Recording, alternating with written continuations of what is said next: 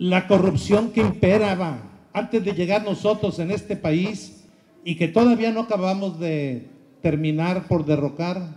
Es la peor pandemia, peor que el coronavirus que hemos vivido. Ese mensaje de la detención de un exsecretario de la Defensa Nacional es un mensaje claro de la voluntad y el deseo de la transformación de este país. Sé lo que se vivía en Mazatlán. Se llegó a politizar la policía municipal. No hay cosa más aberrante que eso. He estado evaluando la evolución de la delincuencia en Mazatlán. Y en este tiempo que él está al frente, vean los indicadores.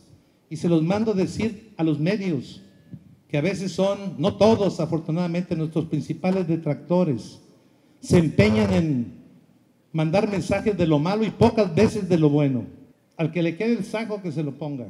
De julio que él llega a este mes de octubre, en robo a transeúntes hemos disminuido de 20 a 0 robo a vehículo estacionado, él llega, había un promedio de 15, lo tenemos en 3 ahorita en este mes. Motocicleta, de 31 que teníamos, estamos en 10 en octubre.